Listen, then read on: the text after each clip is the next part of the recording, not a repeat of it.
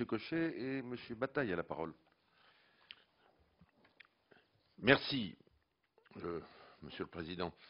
Euh, je n'ai pas vocation à, répondre à, Monsieur Cochet. Je veux simplement euh, relever un aspect sur lequel nous avons travaillé et sur lequel je veux exprimer mon désaccord avec lui, c'est l'analyse qu'il fait de la politique énergétique allemande.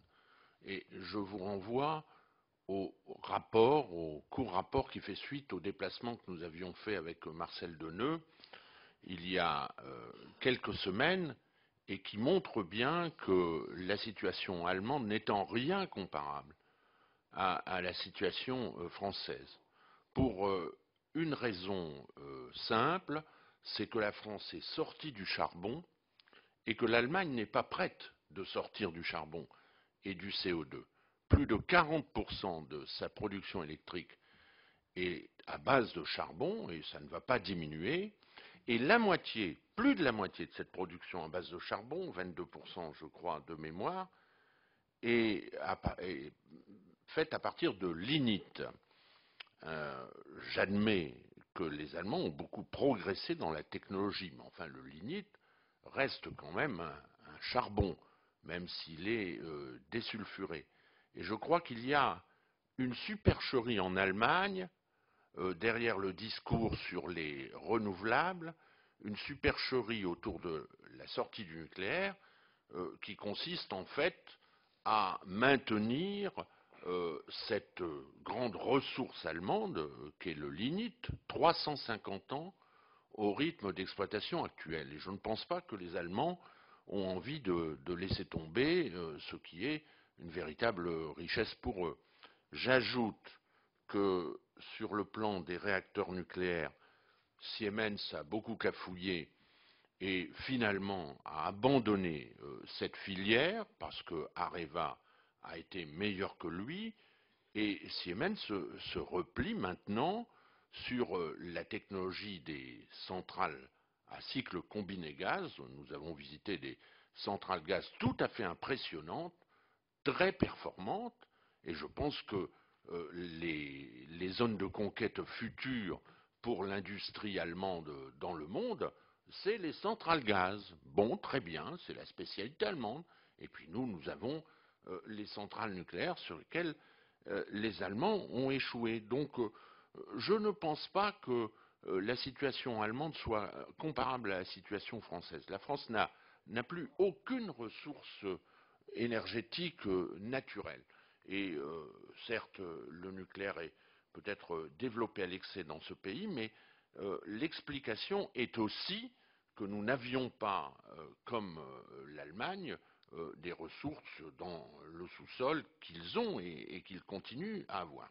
Alors, je veux aussi euh, préciser que, bien sûr, il y a un échange de vues entre nous, euh, tout ça euh, dans le, cadre du travail parlementaire est, tout à fait normal, mais notre mission aujourd'hui n'est pas un débat parlementaire, mais la préparation d'un rapport. Et il est logique que nous auditionnions aujourd'hui les, grands partenaires, les grandes industries françaises, partenaires qui représentent quand même euh, une force industrielle dans ce pays et qui donc euh, ont, tout à fait légitimement euh, exprimé leur point de vue et l'ont fait d'une manière, je veux les en remercier, d'une manière très construite, très, très élaborée, avec des, des, notions très très précieuses, tant de la part du CEA que d'EDF et, que d'Areva, qui sont euh, des, industries qui ont euh, un retour d'expérience, et pas seulement euh, pour répondre à, la question, je le rappelle, sur laquelle nous nous interrogeons aujourd'hui, l'avenir de, l'énergie nucléaire. Alors, je voudrais demander quelques précisions. J'ai toute une série de questions, je ne vais pas toutes les poser pour ne pas abuser du, temps et laisser les autres interventions se faire. Mais je voudrais demander à M. de, de euh, qui nous a parlé des, investissements de remise à niveau euh, du parc. Alors effectivement, j'en profite pour faire un, petit dégagement sur la durée de vie des centrales. Je me souviens qu'il n'y a pas si longtemps, il y a quelques années, peut-être une dizaine d'années, nous avons fait un rapport dans le cadre de l'Office avec Claude Biraud, et c'est vrai que à cette époque, la durée théorique affichée par les constructeurs était 30 ans, et dans ce rapport, nous avons parlé du palier de 40 ans. Hein. nous avons parlé du, palier de 40 ans. je pense que toutes les centrales vont arriver sans encombre à ce palier. Et je crois qu'il faut, à ce niveau-là, euh, admettre euh, le rôle joué par euh, l'autorité de sûreté nucléaire. Certes, les élus politiques ont un point de vue à donner sur l'avenir énergétique de notre pays, mais je crois que l'autorité de, sûreté nucléaire est le tribunal décisif qui dira si, au-delà du palier de 40 ans, certaines centrales, peut-être pas toutes, peuvent aller euh, jusque 50 euh, ans. Euh, les Américains qui ont démarré beaucoup plus tôt que nous dans le nucléaire, c'est vrai, nous devancent et au fond, on peut observer avec intérêt la manière dont certaines de leurs centrales continuent maintenant euh, c'est vrai, euh, atteignent des, records euh, peut-être pas loin des 50 ans pour leur centrale. Oui, vous avez cité le chiffre de 47, je, veux le, retenir. Non, mais je sais que M. Cochet ne dit pas les choses au hasard, et ce chiffre de 47 est sans doute le bon. Donc nous ne sommes pas loin de 50 ans.